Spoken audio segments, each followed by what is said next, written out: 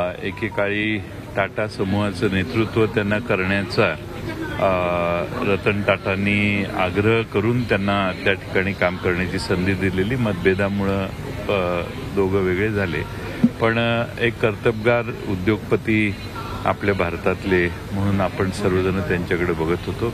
त्यांचं अपघाती निधन झालं हे अत्यंत दुर्दैवी आहे. बहिणाबाईंची जात्यावरची ओवी. म्हणजे Si lloviste